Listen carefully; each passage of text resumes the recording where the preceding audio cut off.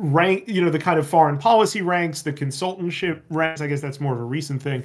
Um, what they come to fixate on more was the way in which Kissinger successfully pushed those frontiers of American power.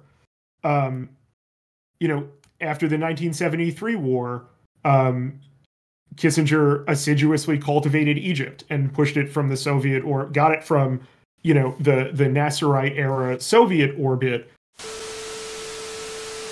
So- Okay, I hear you. Oh, I'm going. I I I I was Okay. running uh, my Yeti as the input, but uh, There it is. Okay, my- perfect. yeah. We did Sorry it. about that.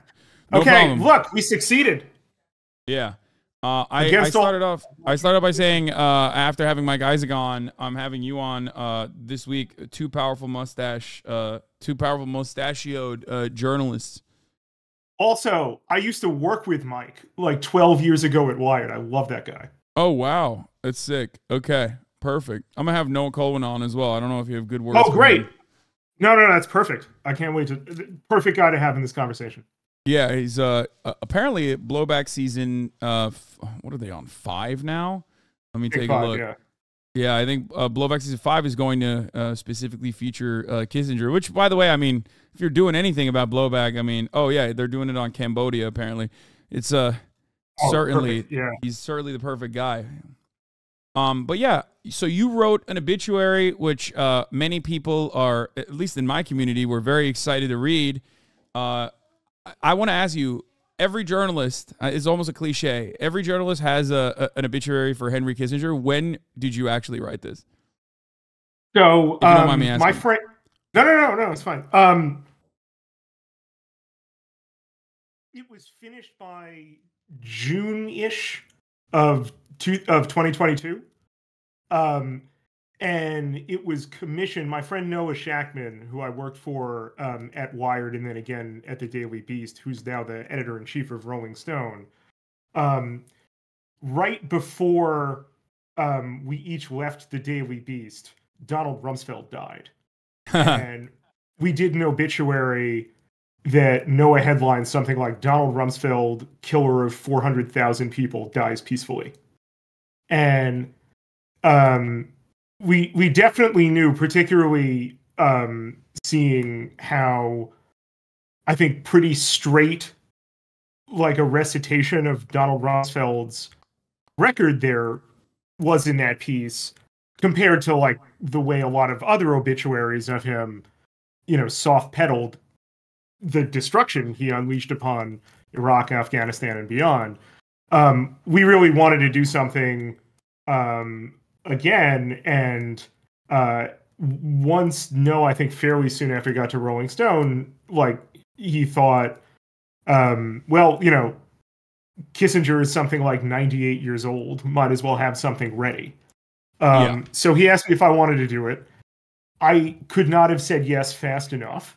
Um, I, I I spent at least a couple weeks um, reading and rereading stuff. Um, whatever anyone wants to think about um, Seymour Hersh at this point in his career, um, when he wrote uh, The Price of Power, um, his biography of Kissinger, like he was at the absolute height of his powers. That that book is really incredible, um, especially considering how much of it um, Hersh reports himself, um, based on really extensive shoe leather reporting that he did.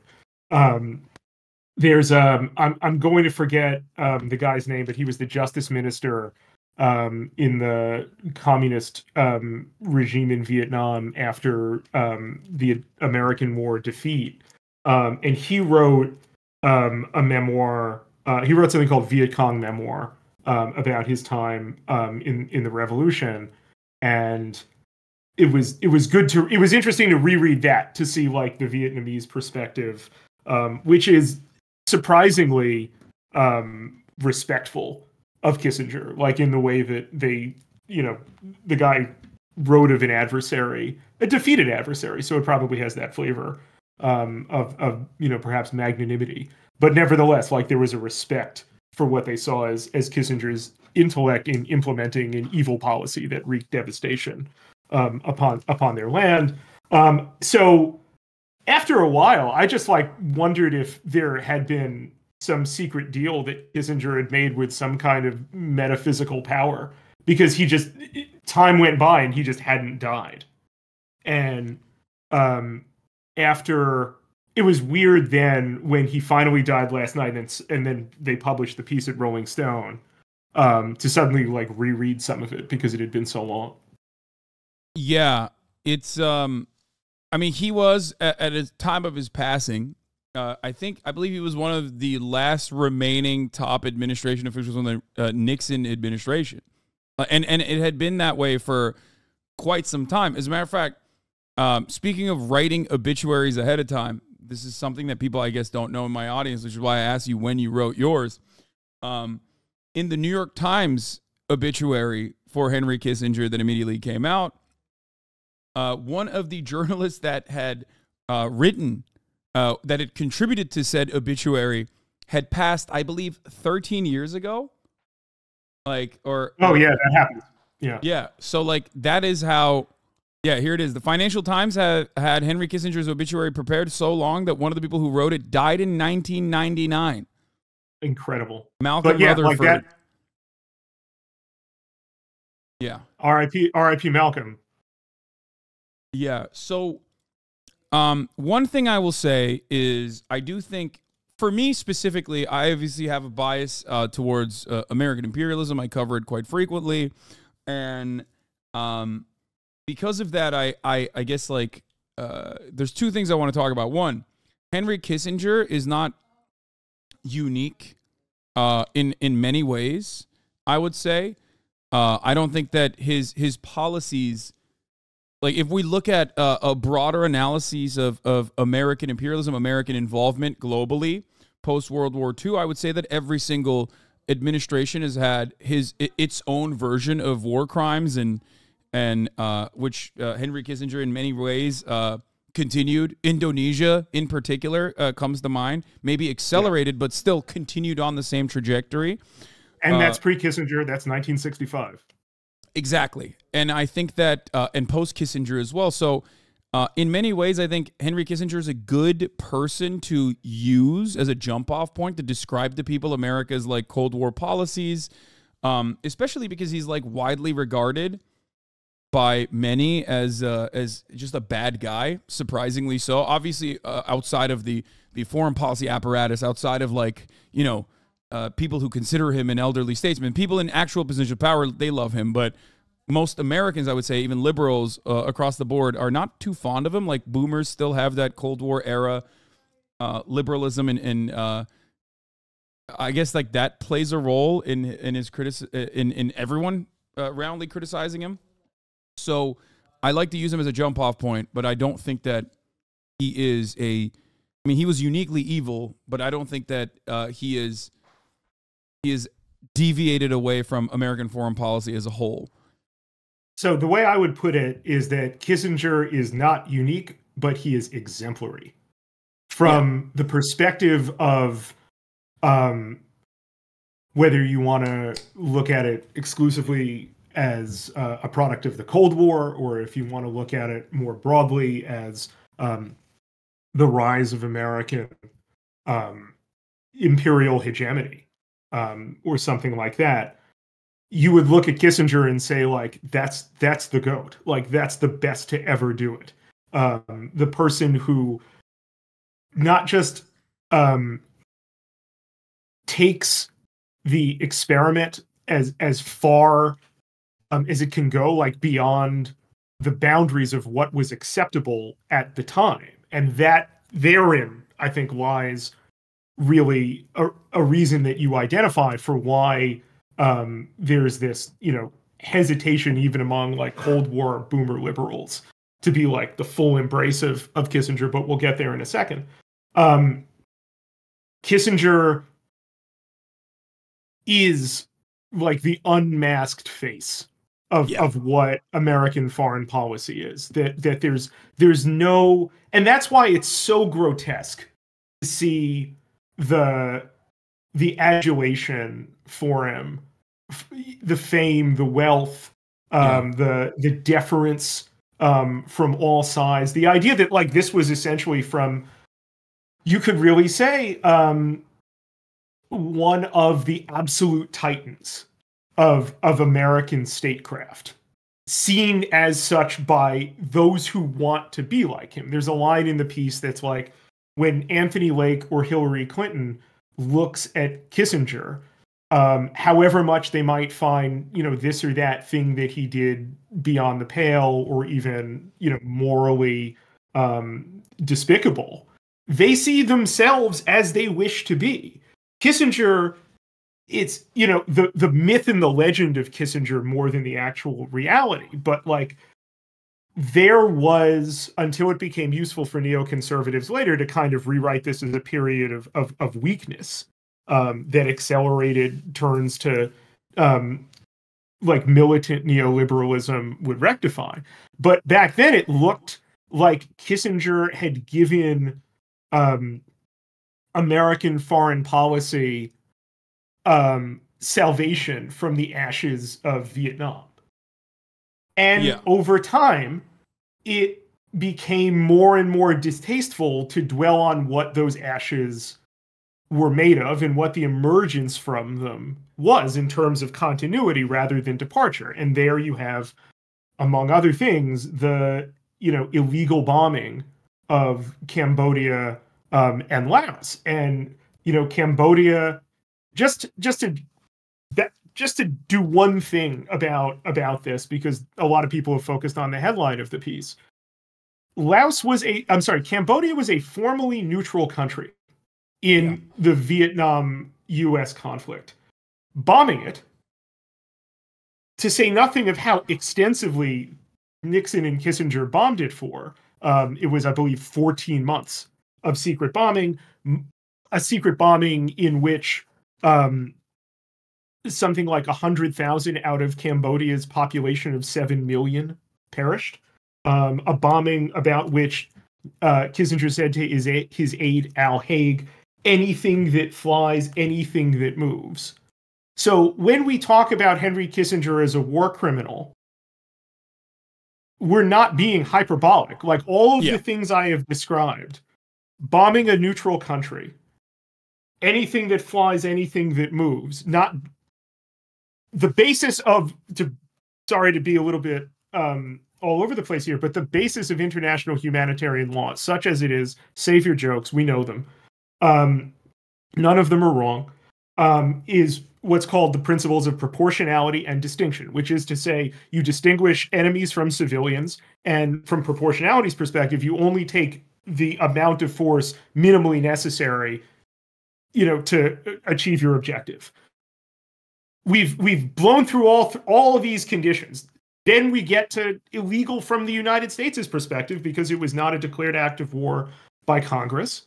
Um, this plays a crucial role in the creation, not that it will ultimately matter in practice, of the 1973 War Powers Resolution meant to stop um, secret bombings like this um, and and and non-declared wars proliferating all over the globe. Now, fast forward 40 years, that just is America. Like that is uncontroversially a picture of American foreign policy as a post 9/11 feature.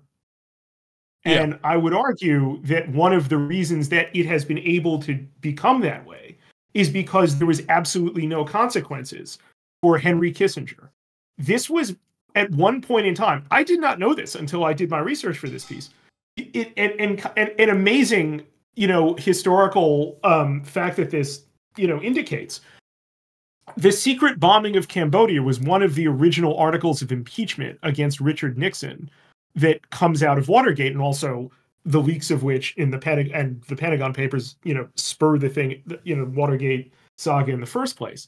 But eventually, that gets stripped out of of the the Nixon impeachment, um, and you know, ultimately preempted because Nixon resigned.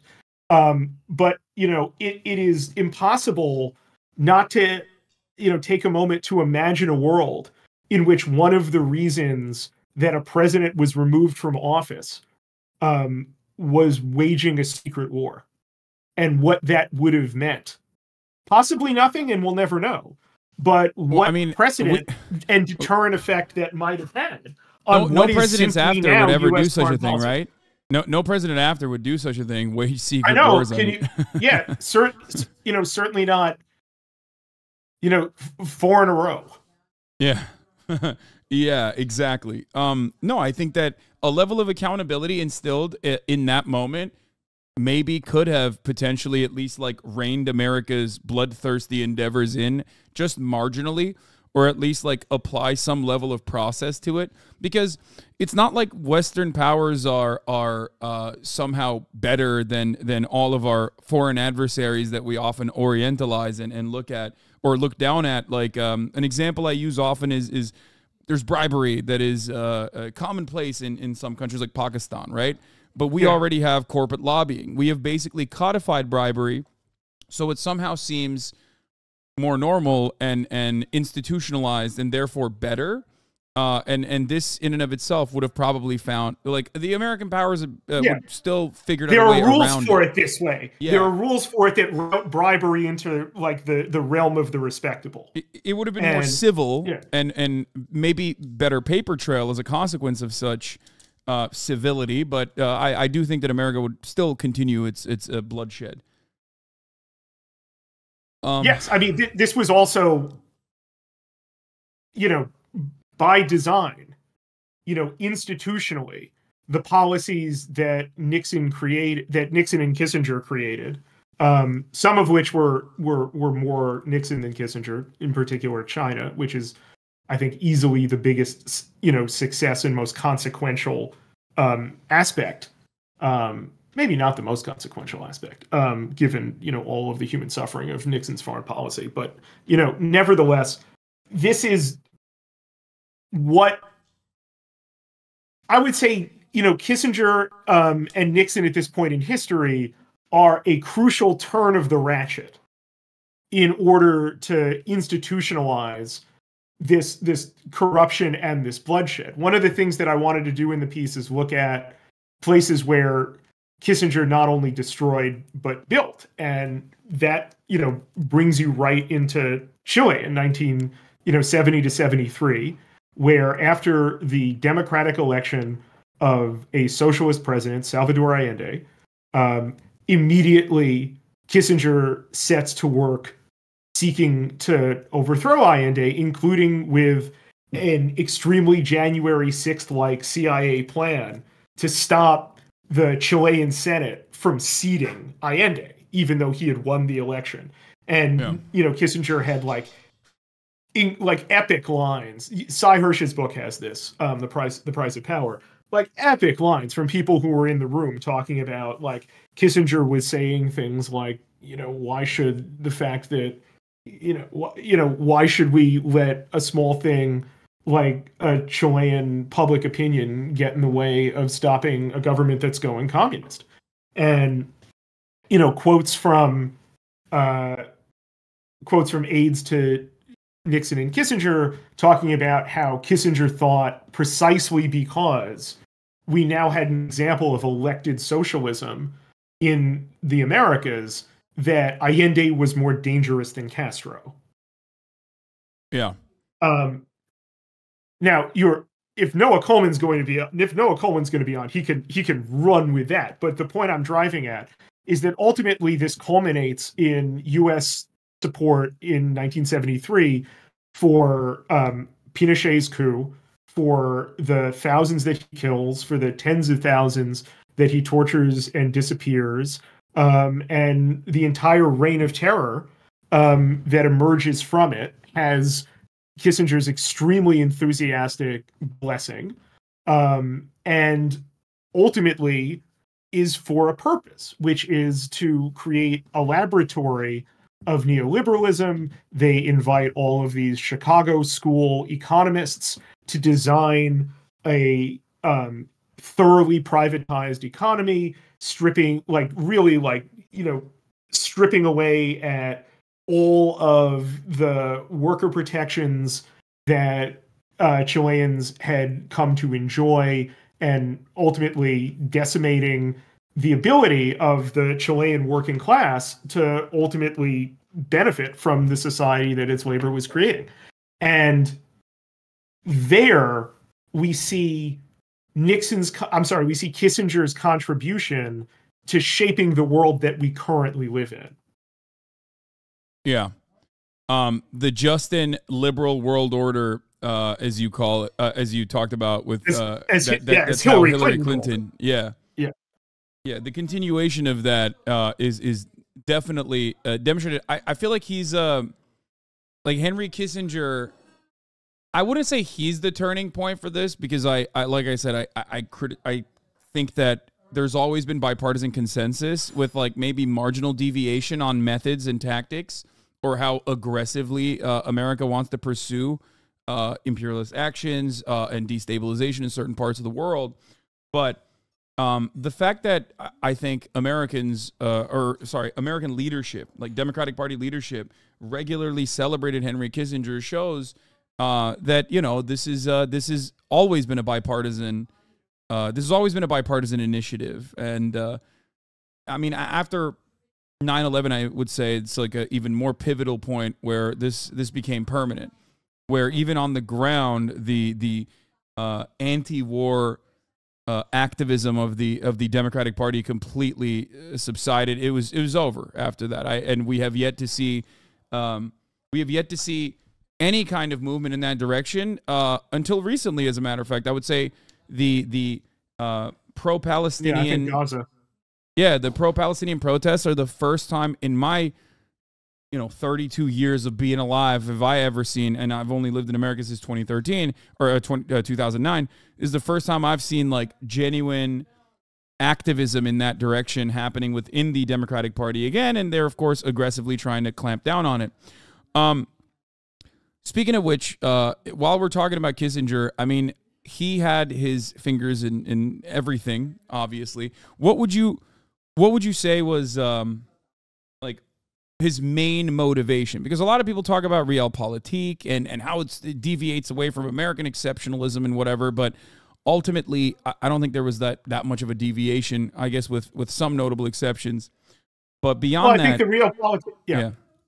I Go think ahead. you know the, the the the realpolitik just serves the exceptionalism, and the point is, yeah, it's not even exceptionalism for for its own sake. What it is is um,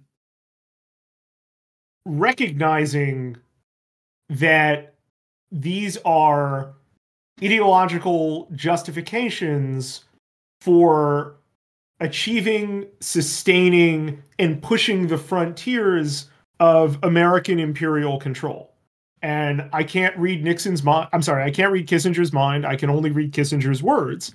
And the impression left, particularly by his famous work, you know, A World Restored, is that he believed um, it. You can't really translate it into 20th century terms so well, but like his sense of what uh, order required was imperial domination and I don't really think it matters to to ask whether that was you know believed or you know cynical or what i think all that matters is that it is a useful means to an end of wielding american power for the purpose of imperial domination for sustaining that empire and for pushing the frontiers of its influence um you know really far. And you know kissinger this is why i use the term um that you know he's a turn of the ratchet he's not you know a thing that makes um the difference between you know not being you know an empire and being an empire um it's you know when you think of the way you know after a while um, people like in the Democratic Party foreign policy orbit, you know, came into power. A lot of it, you know, had to do with um, the widespread anger at the Vietnam War, of which you know Kissinger by the you know early to mid 70s was a symbol of. And then after a while, as they ascend through the kind of um, rank, you know, the kind of foreign policy ranks, the consultantship ranks. I guess that's more of a recent thing.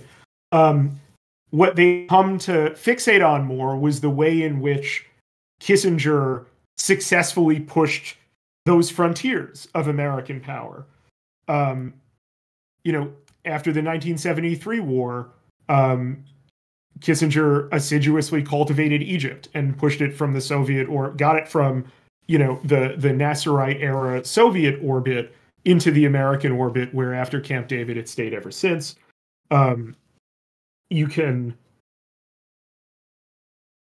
I think, probably view Chile in the same way in terms there, of there's um, also expanding. there's also a continuation here that I'm I'm personally very interested in because like I think in some ways it, you can you can draw a direct through line from that onwards with uh, some exceptions along the way with Yitzhak Rabin maybe but even then not too much of a deviation from the standard all the way to the Abraham Accords of like cutting out like securing relationships with regional partners regional Arab leadership and and cutting out Palestinians from the deal altogether, while simultaneously, uh, at this point, it's a little bit different because like those relationships have become permanent. These are basically uh, de facto client states now, like the Gulf nations in the region. But um, at that time, uh, uh, ripping Egypt away from uh, any kind of uh, Soviet sphere of influence and then doing that while simultaneously uh, secretly and sometimes not so secretly backing the Israeli leadership, I think,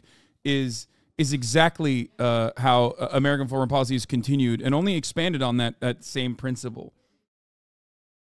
It's important to remember that in foreign policy circles, the the like like the circles that make foreign policy, as opposed to discussing it from the outside, um, or like from the briefly out of power.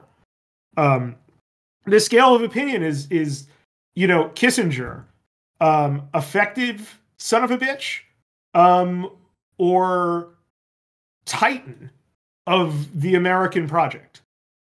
Like there's there's not much, you know, viewing of him that lacks respect there there just isn't. And it's it's it's been um an education an ongoing education. This is one of the reasons why i wrote my obituary the way i did to talk about not just kissinger and his what his works were but to kind of turn it in on us and ask like what does his impunity his freedom his wealth his fame um have to say about American elites. And it's an exceptionally ugly story that ultimately boils down to saying millions of lives don't matter.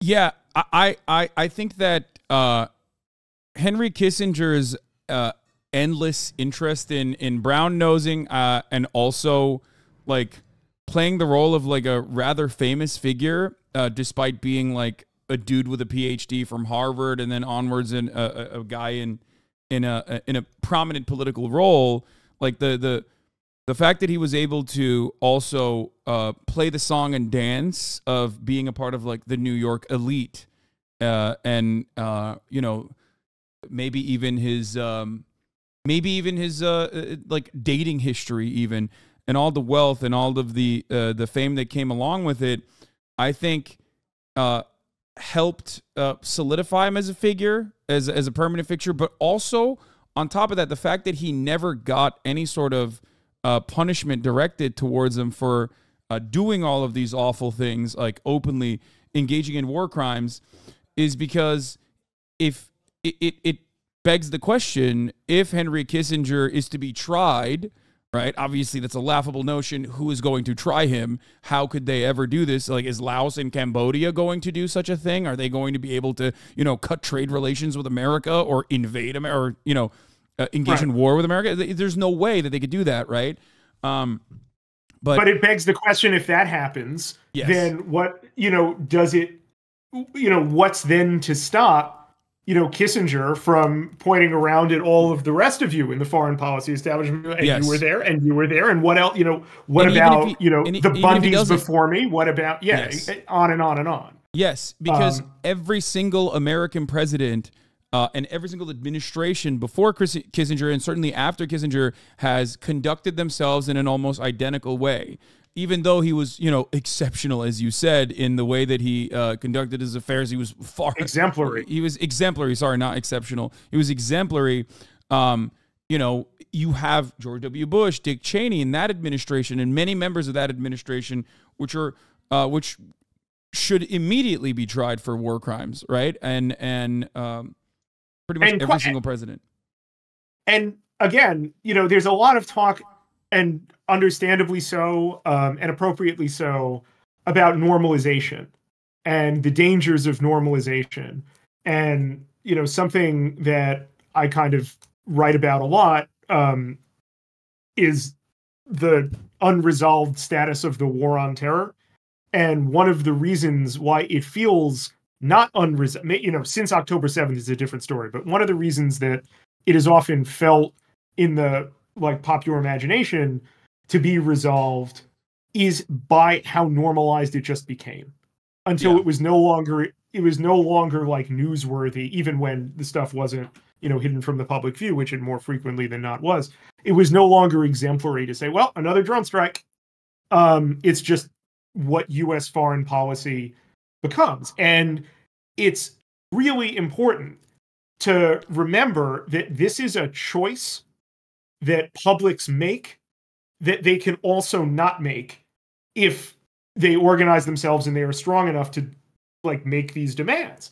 And with Nixon and Kissinger getting away with it, I should say, you know, Nixon resigned. Kissinger did not. So like there, you know, Nixon was disgraced, Kissinger never was. And the way in which that created not just a sense of of that what he did could ultimately you know be defended it you know teaches no different than you know you teach a child like oh that's actually okay. You can you there's no consequence for that. And more and more people then become like eventually it's good that we you know it's then it becomes it's necessary that we do this routinely. And then it becomes it's valorous that we do this routinely. And Kissinger, by you know going from you know outrage and resignation, you know the famous defense intellectual Thomas Schelling, um, you know, denounced the the secret bombing of Cambodia once it became public. Um, and now, you know, people don't bat an eye at this stuff, and it becomes just sort of part of your resume in the foreign policy establishment. And it's weirder if you don't have it. Yeah, I think it also makes it much easier, in my opinion, to just like uh never really talk about the uh the the awfulness of that era because that makes it easier to justify what we're doing now.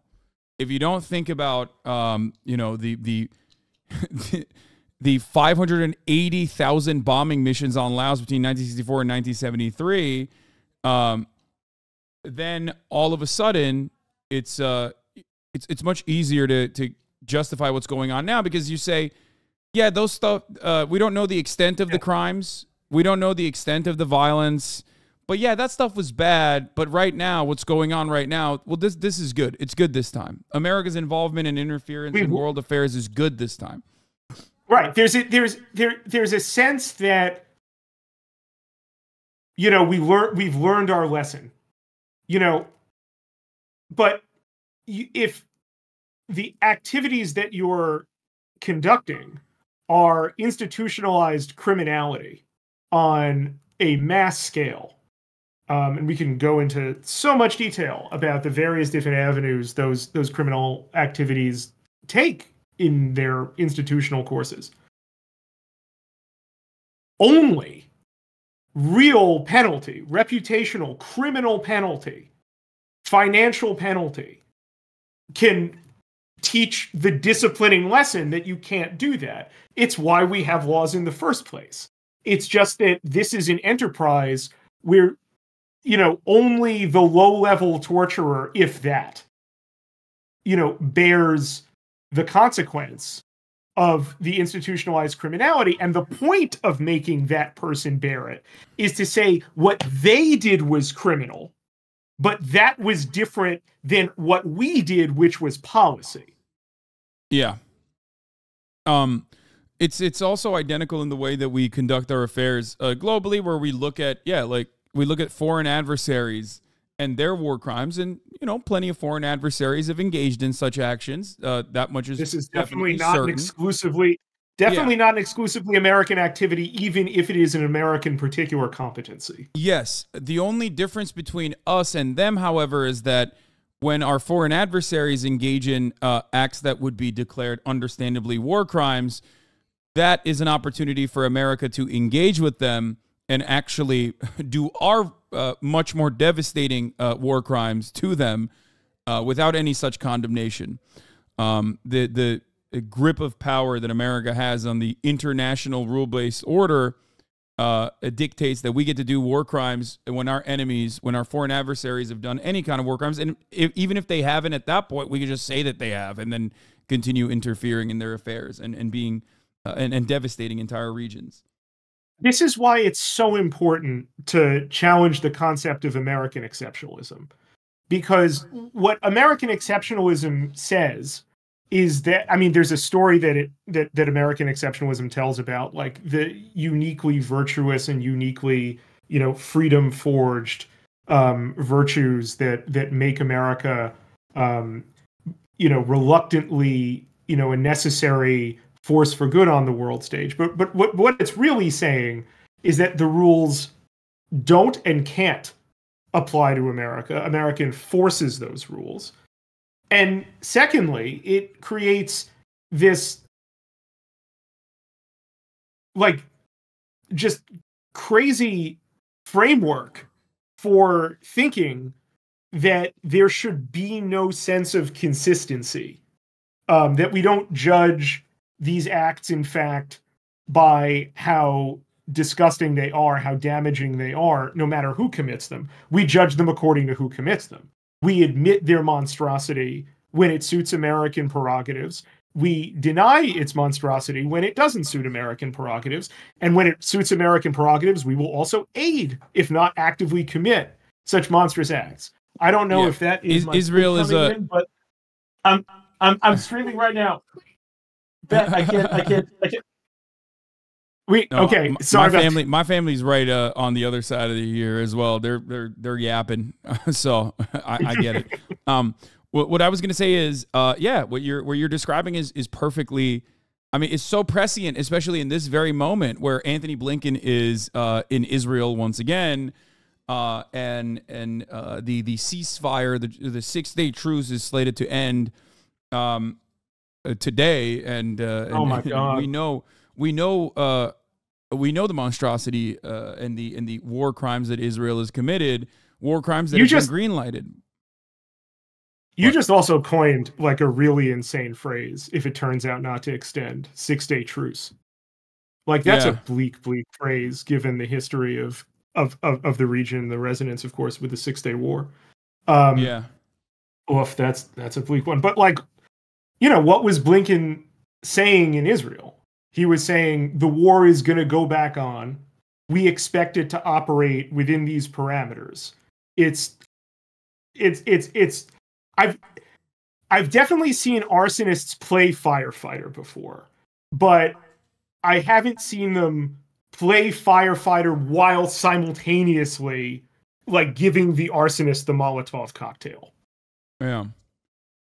Um, Blinken has said, uh, as of an hour ago, according to Washington Post, that the pause in fighting has been producing results as more hostages are being freed. Yesterday, there was a point of contention between Hamas and and uh, Israel on how many hostages were being released and who the hostages were. I believe they produced uh, seven women and children uh, amongst uh, the the remaining hostages that Israel claimed was not enough, and that they were going to continue its bombing campaign, which I suspect is the reason why Blinken's there. Now, of course, I don't believe that Blinken is there because of uh, because of his genuine interest in like maintaining peace. Uh, I think it's it's getting to a point where uh, it, it is undeniably like Israel's actions are undeniably becoming a problem for American foreign policy because it undermines American and, influence. and for and for Biden. do- Sorry to interrupt you. And for Biden domestically, for Yeah. for the prospect of him of him being reelected, and so now you have this spectacle um, from Blinken of trying to like have the emphasis in one audience be ah we told Israel it had to limit its war while to the Israeli audience it's saying like yeah it's back on go. And right before what you called the 6 day truce um the Israeli defense minister Yoav Gallant um was quoted as saying that once the truce ends he expects two more months of war. Now, Yeah. if you know anything of I'll just put it like this. It took nine months for the US, the Iraqis, and the Iranians to oust ISIS from Mosul, a place where they had nowhere near the the you know durable ties, local knowledge, like embedding in the in the local, you know, patterns of life, infrastructure, all of it. That Hamas ISIS did not have a civil governance division uh, actively working for the past, uh, you know, 15 years. Or, There's or no way of do yeah. So like it's militarily laughable to say that two months can achieve Israel's objectives. It can't because Israel's stated objectives are euphemistic and function and pretty much pretextual. What Gallant is saying, they have two more months of international leeway as they judge it to decimate Gaza and allow pogroms in the West Bank. That's what you know two months means. That's the stakes of returning to a state of of fighting instead of extending this truce. And there there just shouldn't be um like any illusion that there's something that like Israel can achieve in terms of the objectives that it set out for itself. It can't uproot Hamas. I mean, this was in many ways real. I wrote a piece about this, you know, at the start of this for the Nation that was headlined something like, you know, the lesson of 9/11 is that Israel cannot win its war. But the reality of the statement, what, what's clear about this is that it's not about uprooting Hamas from Gaza. It's about uprooting Palestinians from Gaza. It's Yeah. about making Gaza uninhabitable. The death toll that we've seen already is going to be, we know, like from every war that's ever happened, from the warnings of the WHO right now, the deaths that are going to come are going to come from disease, from um, from lack of the sanitation infrastructure, from the fact that Israel destroyed the healthcare infrastructure in Gaza. That's what's going to ultimately be even deadlier than I don't even know how much the estimated death toll is at this point. It, I, you Well, know, a it was part of that is we can't figure that people. out. Yeah, we can't Because it- figure that out because Yeah. we've the, Israel has destroyed the healthcare infrastructure that was reporting on the matter before Yeah. they before they destroyed the healthcare infrastructure that was adequately reporting on the matter. There was also another moment where the Biden administration played a devastating role in undermining the confidence that they historically had on the Gazan health ministry by claiming that those numbers are unreliable in the aftermath of the Al Ahli uh, explosion, which uh, uh, uh, which led to this this major, which played a major role in in the propaganda war uh, at the behest of Israel. Like they since then, uh, I I have seen so many times that like uh, the, the media changed its style guide, started reporting on. Uh, health ministry Yeah. numbers is like the Gazan, uh, Hamas backed Gazan health ministry numbers, like always with a with a uh, always with a douse of skepticism. Uh, one that is never offered to the IDF, which is routinely lied. If we're looking at like the inconsistent information coming or the historic track record coming from uh, Hamas backed or even Hamas uh, directed uh, uh, organs of information in comparison to the Israeli government, the Israeli government greatly, uh, greatly uh, outweighs. I mean, there's so much more misinformation that has come out of the Israeli front, both from Knesset members, both from uh, all of the organs of information, uh, and and it definitely deserves skepticism. Like any serious I'm so- journalist should I'm- be skeptical. I'm so old. I remember when underneath the Al Shifa hospital complex, there was the Hamas Command and Control Center. Yeah, Um, you, you, you know, it's it it compounds, and journalists have to ask themselves, you know, really honestly, what kinds of credible sources from all sides they are they are actually confronting and in so many cases I, look israel you know it, like israel keeps first israel has killed something like i i, I apologize for not knowing the total Almost number 60 but some, journalists. thank you yes over 50 for sure Yeah. um you know since that since this has begun and it stops journalists from seeing gaza for themselves independently and you know you, you to tie this back because i think what my daughter was indicating there is that um i'm, I'm gonna have to go um to tie this back to kissinger i wrote a piece this is also in the kissinger obit somewhat but i wrote a piece for the nation um it, that's in its current issue um, I'm very honored to have that be the issue um, with Muhammad El Kurd's incredible cover story, um, uh, The Right to Speak for Ourselves. And this piece was called Gaza Shows the Difference Between International Law and the Rules Based International Order. It is really it just as obvious as it was for Kissinger being a war criminal. Israel, throughout the Gaza war and before, the occupation of the West Bank is illegal. It has been illegal for 50 years. So the routine violation of the normalized violation of international law by Israel can happen because Israel has something stronger than that. It has the US rules based international order, which operates on the rules of American exceptionalism that we've been talking about before. Kissinger brought that rules based order to um, an extreme height, a height that would subsequently be surpassed.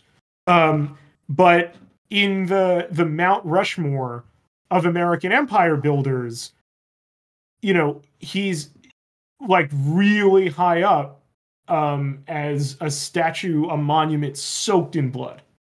That's a weird metaphor to mix, uh, but but that's how I'm gonna I'm gonna get here. Okay. Uh, Spencer Ackerman, thank you so much for coming on. Uh, hope to have you again. Uh, I hope to have you on again soon. Uh, but uh, yeah, we'll be we'll be uh, reading your your work uh, later on in the broadcast as well. Can I just say one more thing before I go? If any of this for me Yes. has made sense, and you are interested in superhero comics, I on December twelfth, the final issue of my four issue mini series for DC Comics uh, called Waller versus Wildstorm gets published. That'll be collected um, and released in January. Um, but uh, very much that is um, a story about everything we've just been talking about um, as a kind of spycraft murder mystery. So just needed to plug that. Yeah, one one thing I will say. Okay, okay. I I know you need to leave, uh, but before you leave, uh, as as a comic book uh, fan, uh, and and one uh, who has made comic books himself, uh, yourself, how do you feel about the uh, the Mossad Marvel hero? Oh my god, have me back up. Her name is Sabra. Sabra. Um, I actually have. I mean, this will never get made, so I might as well say it. I have an unpublishable pitch for uh, a Sabra story um, that you know, Marvel. If you're listening, I doubt it would ever possibly be able to be published. Uh, but uh, I have some thoughts about writing Sabra and the purposes for which uh, one writes Sabra. But like to be to be clear, when this character goes into um, the the movie that's gonna happen, I think it's a Captain America movie. Buddy, be prepared for just how heroic this presentation is going to be. Like Oh, that's going to be a rough thing to watch. It is going to be if you thought, you know, Gal Gadot, Wonder Woman, saving uh, the little kids from the missile uh, was something. Just wait until you see Sabra and Captain America valiantly in action together. she's gonna she's gonna participate in Sabra and Shatila, but heroically. The bad guys. Uh, she's gonna. Or or she's going to save a camp of refugees from a Sabra and Shatila. Yeah. Oh, 100%. That's my that's my uh, uh, favorite like uh, trope of of America's war crimes are so awful that only our enemies must have done it in popular media, like the Call of Duty, uh, the the bombing of the Highway of Death, uh, Yeah. being attributed to uh, the Russians, like an act of grave evil. Of course, it, it, only our foreign adversaries might uh, conduct themselves this way. We would never do that. That's All right, man. Thank you so much. All right, thank you for coming on, Spencer. Absolutely appreciate it. Take care. All right.